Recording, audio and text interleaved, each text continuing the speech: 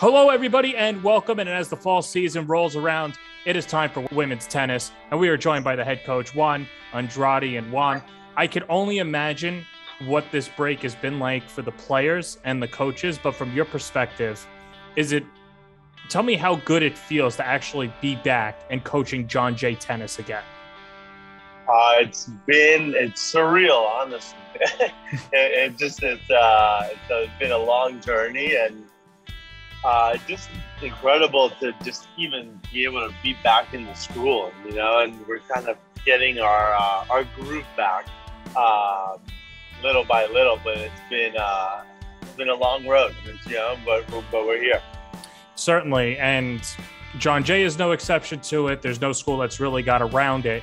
You guys lost a lot. Do have three returners coming back in Brianna Schmidt, Kayla Hankey, and Nikar Roddy. And I'm just curious what was the communication like during the lockdown with those three players? And how close did you try and keep them and the previous group together? And you know how does it feel to actually see them back on the court now?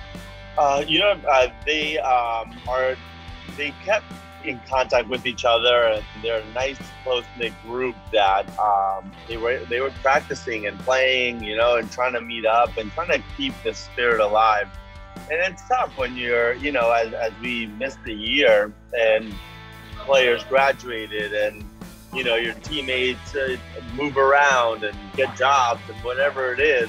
Um, as we're all trying to survive this, you know, this period of time, they kind of stuck together. They knew they were coming back even after, you know, losing a year.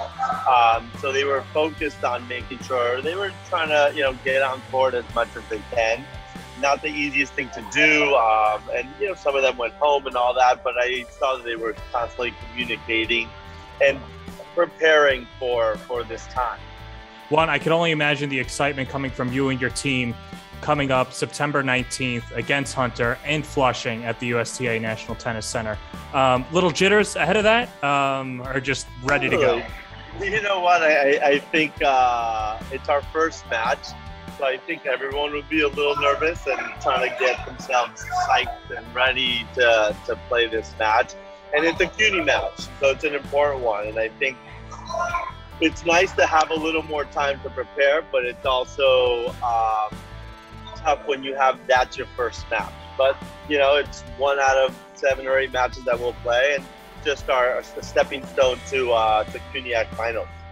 Well, perfect. Juan, thank you for the time. Good luck this year. It's finally great to actually see you and your team back in action. Uh, appreciate it. Thank you.